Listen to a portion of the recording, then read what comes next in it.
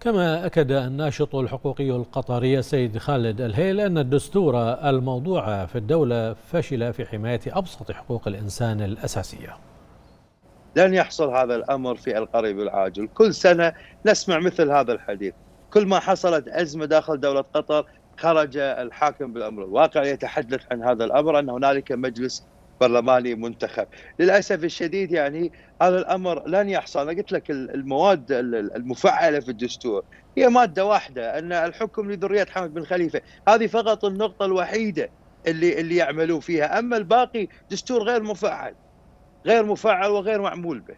العرف العام في الوثيقة المسماها الدستور الدائم لدولة قطر كان المفترض أنه يخصص للحقوق والواجبات العامة ولكن في حقيقة الأمر فشلت فشل هذا الدستور الموضوع في الدولة على حماية أبسط الحقوق الإنسانية الأساسية فتغاضت عن كثير من حقوقهم وحتى الحقوق اللي ضمنتها ظاهريا. بأنها في واقع الأمر تجهض هذه الحقوق عبر إضافة عبارة إلا وفقا لأحكام القانون. طبعا إلا وفقا لأحكام القانون كما ذكرت سابقا هي النقطة الأساسية اللي يلعب على وترها النظام القطري.